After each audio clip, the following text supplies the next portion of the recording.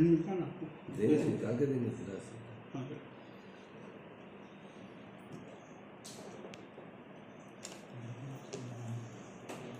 हुकूमत की जानी से रिजाइंडर भी जारी किया गया लेकिन वो सरकारी तौर पर साबित ना हो सका क्योंकि जो रिजाइंडर हमारे पास आया था उसके मुताबिक वो सरकारी तौर पर उसको देखा नहीं है।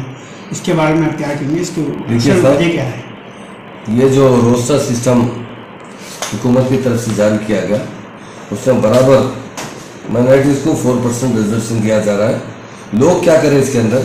ये रोस्टर सिस्टम में 69 नंबर पर, जहाँ बी सी ई है, उसे बी टाइप किया गया। लोगों को कन्फ्यूज़ करने के लिए ये बाहर को लोग प्राइवेट बदमाशी करके हुकूमत को बदनाम करने की कोशिश कर रहे हैं। मगर हमारे सीएम साहब, मुसलमानों के साथ इंसाफ करने वाले सीएम साहब है, जो फोर परसेंट है, उन्होंने इससे पहले भी कहा भी कोशिश कर रहे हैं। यहाँ नहीं, सुप्रीम कोर्ट में भी ज़रूर हमारे पास से अच्छे अच्छे लायर जाकर उसे तहफ़ को बरकरार रखने की कोशिश करें। और ये मैं आम से कहता हूँ कि लोगों के कन्फ्यूज़न में मत आइए।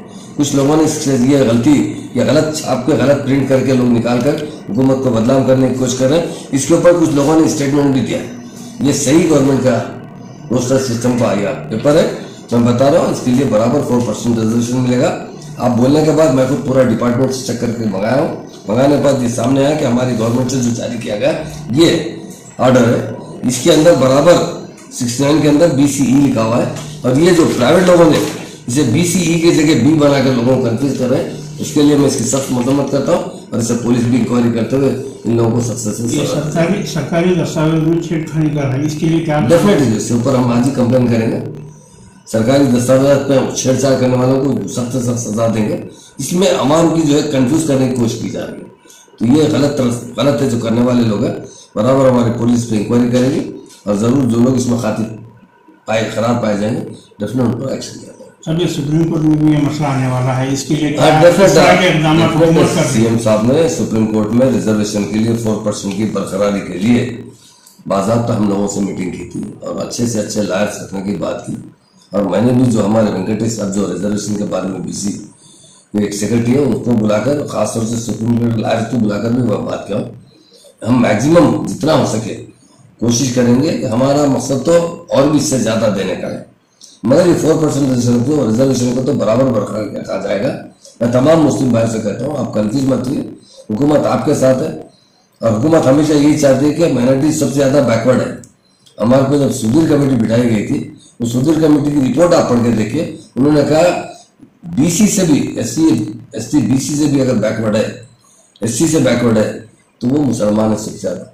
तो सीएम साहब भी इसलिए रेजिडेंस स्कूल खोले, मुसलमानों को अच्छा एजुकेशन देने के लिए। और हमेशा हम मुसलमानों बीसी से भी अगर बैकवर्ड है एससी से बैकवर्ड है तो वो मुसलमान है सबसे ज़्यादा।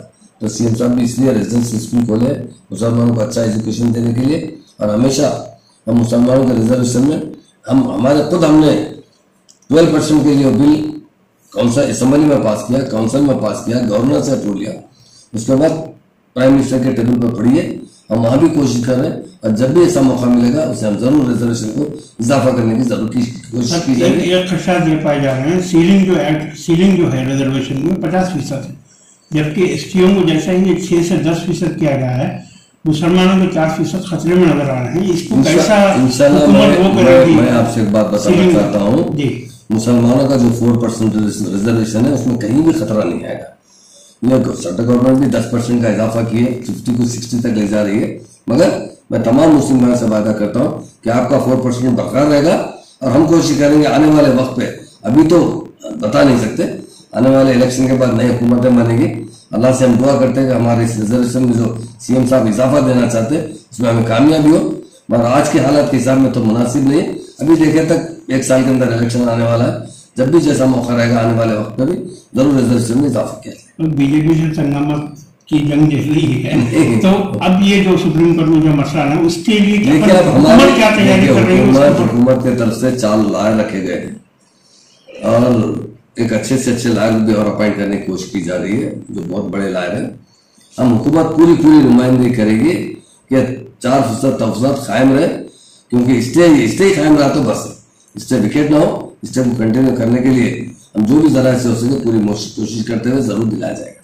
सब सेक्रेटरी भी तैयार हो रहे हैं। वहाँ के मसाजिद का डेफिनेट देखिए साहब दो चीज़ बताना था सेक्रेटरी तो तकरीबन तैयार हो चुका है। बहुत जल्द दो महीने में इसका इनाग्रेशन है और मस्जिद भी तैयार हो चुकी है। दोनों मस्जिदों का कल ही डोम पड़ा है और इंशाल्लाह एक हफ़्ते के बाद मैं खुद भी दौरा करूँगा। और जैसा सीएम साहब ने वादा किया था कि सेक्रेटरी के साथ मस्जिद बनेंगे वहाँ पर सीएम साहब में मंदिर भी तैयार हो रहा है और चर्च भी तैयार हो रहा है। ज़रूर इंशाल्लाह ताला तीनों का एक साथ इफ्तः किया जाएगा या अलग अलग भी इफ्तः किया जाएगा, जैसा भी काम नवीयत के हिसाब से। मगर बहुत ज़्यादा, बहुत खूबसूरत मस्जिद बन गई मैं समझता हूँ हमारे सारे तेलंगाना में क्या, हिंदुस्तान में इतनी शानदार मस्जिद नहीं रहेगी कि नए डिज़ाइन की मस्जिद, तुर्की डिज़ाइन है। अच्छी से अच्छी मस्जिद बनाई जा रही है, जिसके अंदर तकरीबन काफ़ी अच्छा खर्चा हो रहा है। सीएम साहब ने भी कहा, हम लोगों को बुलाकर ऑफिसर से कहा, ये खर्चे की फ़िक्र मत कीजिए, मस्जिद अच्छी बनवाने लगाइए। क्योंकि सेक्रेटरी जिस तरह शानदार है, मस्जिद भी उसी तरह शानदार होना चाहिए सीएम साहब का सब ठीक है शुक्रिया